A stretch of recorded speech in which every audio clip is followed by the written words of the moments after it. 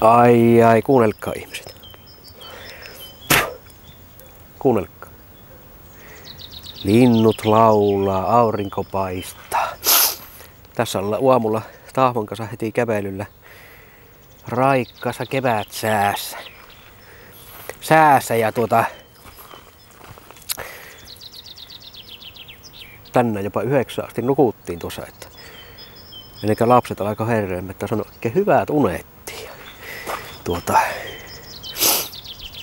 varmaan ollaan tällä hetkellä niin Niilon kanssa, Niilon kanssa puskettaa YouTubessa niin eniten videota linjalle kahteen mieheen, että tuota,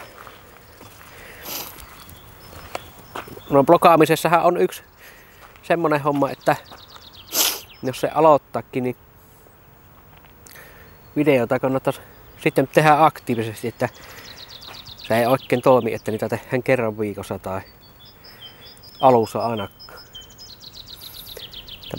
Pakkohan sitä aktiivisesti päivittää, jos sinä niin sitä elämää sinne kuvaattaa. Niin. Tai eiköhän me Niilon kanssa sitten puskita siltä merikarviolta. Mehän tullaan sinne päivän illalla, perjantai-iltana jo tullaan ne merikarviolle ja laavantaina on sitten se kilpailu, niin eiköhän me Niilon kanssa siltä yhteisvideot tehdä. Näin poispäin. Niillä on vähän opasto sinne illalla, illalla ennen kuin edellisenä iltana sinne opastoon vähän, niin miten kannattaa sitten vinkkiä antaa, että miten kannattaa sitten heitellä siellä kisassa. Ja tuota, näin nikkästi. Siirrettäpäs tuo kamera tuohon kätteen.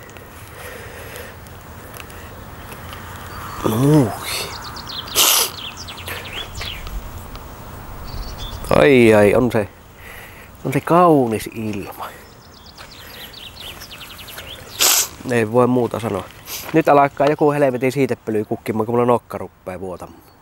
Tässä on pari päivää ja vähän alkanut niin kuin nokka kutiamaan, niin minähän on kaikille mahdollisille siitä tuota, pujolle on allerginen. En muista edes kaikkia, mutta just tässä alakukevyvästä niin se alkaa joku pölyämmä, niin en tiedä mikä, mutta alkaa niin sanotusti nokka vuotamaan. Ja ja, ei siinä mitään.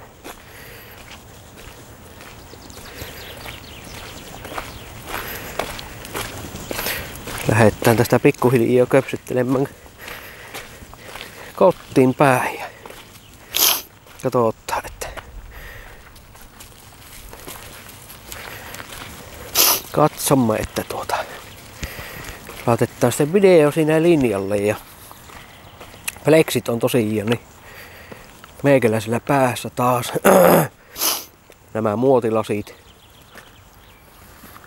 Nämähän on muotia, muistakaa se. Muotilasit ja tuota tämmöiset pitäisi olla kaikista, tämmöiset pitäisi olla kaikilla päässä nyt tulevana kesänä. On ne, se, sen verran muotilla siitä kuitenkin. Tiedän minä muutaman kellä on jo tämmöiset päässä, että tuota. Sen verran muotilasit, että ei ole muutamalla on jo nähnyt tämmöiset piässä. Dai, dai, dai, dai, dai, dai, dai, dai, dai, dai. Minun pitää varmaan näette nuo kohta nuo MM-kisaa paijat.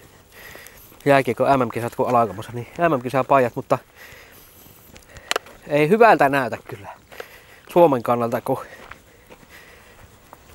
se nyt on ihan fakta, että Suomi ei pere pelkillä niin kuin eurooppalaisilla pelloilla, pelloilla tulee pärjäämään kisoissa, että sieltä muut saapi nyt niin paljon. Venäjälle on Malkkinia tulossa. USA on hirmunippu. Siellä on Jack Parise, siellä on mikäs vittu se on se Chicago ukko. Parise oli ja sitten oli tämä Patrick Kane ja Venäjällä Malkkin tosi ja Ruotsille tullut Lundqvist-malli. Ruotsillakin taisi olla 13 NHL-vahvistusta. Että tuota, ei Suomi pärjää, jos se ei saa niinku, pitäisi muutama suoha. Ei tarvi, ei, ei tietenkään, tietenkään koko joukkuetta, mutta kyllä se tarvii sinne muutaman maalintekijän Suomikki. Että ei se, ei se kansainvälisissä peleissä niin pärjää eurooppalaisilla. Se nyt, se vain tahtoo olla se karu fakta.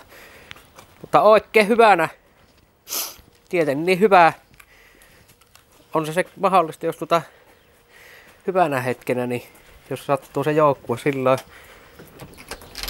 muovautumaan yhtä ja kaikki meni snappi, niin pois se sitten pärjätäkin, mutta huonommallakin joukkueella, mutta kyllä se niinku pieni ihme vaatisi jo. Kyllä se minusta, minusta näyttää pahalta tuo homma.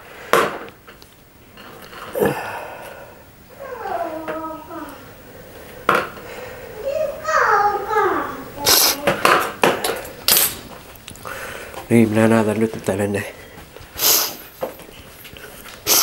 paijat. Minkälaisia mulle on tullut. Nimittäin tuo Teppo Winnipekki, sieltä missä minä tilasin näitä Teppo Winnipekki juttuja. Niin Teppo Winnipekki lähetti mulle nyt, niin Teppo Winnipekki lähetti mulle ensimmäisenä, niin ensimmäisenä kuule, niin semmoset kisapaijat, mitä sille tullaan tuota. Minä en tiedä, että onko sillä jo onko sillä nämä jo tuota myynnissä, mutta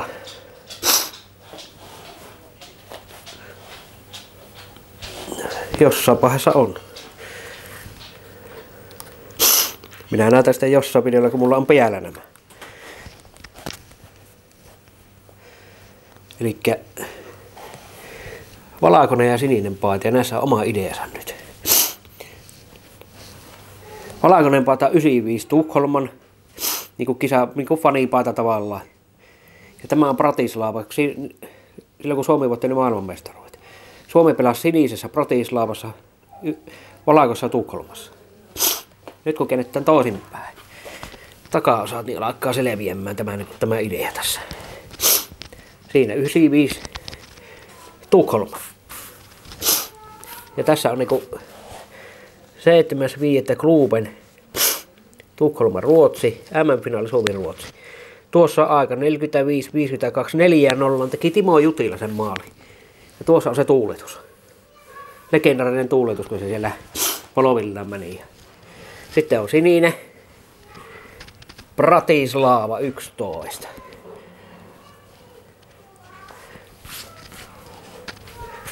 Noin. Bratislavassa oltiin ja välierää Suomi-Venäjä 25-13, 1-0. Ja Mikka Graalundin ilmaveivi on siinä. Nämä on minusta hauskat kyllä niin. Hienot tuota, tämmöiset kisa-fanipaijat.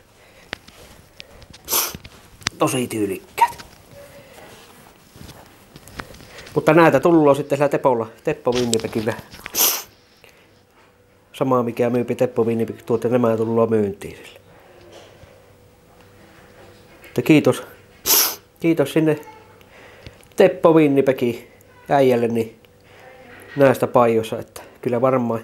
Ja minä jossain videolla laitan ne piälle, niin että mitä ne näyttää sitten piällä. Piällä nämä ja kisoja akka varmaan tulen pitämään. Ja muuten niin. Mutta semmoset. Semmoset pajat. Mutta eikö siinä. Päivä jatkuu ja katsotaan mitä tulee vielä. Ei muuta kuin näihin kuvia tunnelmiin.